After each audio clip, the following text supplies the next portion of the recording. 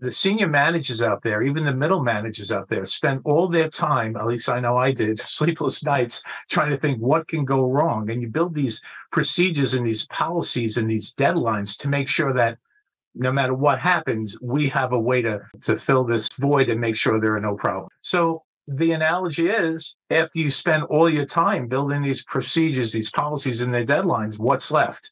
Making sure everyone does what they need to do, hit every deadline, make sure every job is done, and give them a way to articulate, whether it's by comments, notes, backup documentation as evidence, a way to clearly state what happened on that day, where if you did have a problem, you can easily remedy it rather than going back on emails, phone calls, meetings to solve a problem.